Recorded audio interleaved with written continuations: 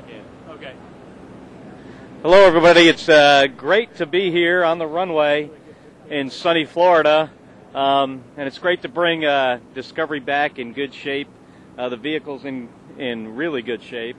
Um, like like to see it that way. It's a, a great day here. We had a really exciting mission that, um, from our point of view, was very very successful, and we're really uh, glad to be involved in making the space station a, a bigger and more capable place. We installed a uh, Japanese laboratory um, that will, will uh, pretty soon here we're going to start to do a lot more science on space station with. Um, did three spacewalks and uh, exchanged the crew of uh, the space station.